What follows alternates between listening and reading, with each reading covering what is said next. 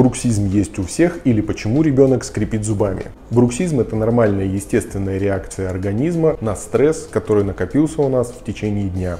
Чтобы сбросить это напряжение, мы можем заниматься спортом, но не всегда на это хватает времени, поэтому организм ищет более легкие пути. Гораздо проще скрипеть зубами, и это касается как детей, так и взрослых. У детей особенно, потому что впечатлений море, и организм просто не успевает совсем справиться. При бруксизме вы можете слышать выраженный звук скрежет челюстей, и молочные зубы у детей могут стираться значительно. В большинстве случаев у детей это состояние не требует никакой коррекции. Очень важно не давать ребенку ребенку какие-то капы, которые действительно устранят звук. Но штука в том, что капы достаточно мягкие и они будут работать наоборот, как тренажер. Ребенок будет их прогрызать, тем самым тренируя жевательную мускулатуру. И когда очередной тренажер или капа будут сгрызаны, то жевательные мышцы с новой эффективностью и с новой интенсивностью продолжат стирать собственные зубы. К счастью, бруксизм может затрагивать молочные зубы, но в большинстве случаев не отражается на постоянных зубах. При начале смены временных зубов на постоянные важно показаться ортодонту и уточнить необходимость ортодонтической коррекции. Но если скрип зубов приобретает очень выраженный характер, то самое время свозить ребенка на море или нормализовать его режим сна и отдыха. Ну а если и это не помогает, обязательно обратитесь к лечащему терапевту, возможно требуется консультация невролога.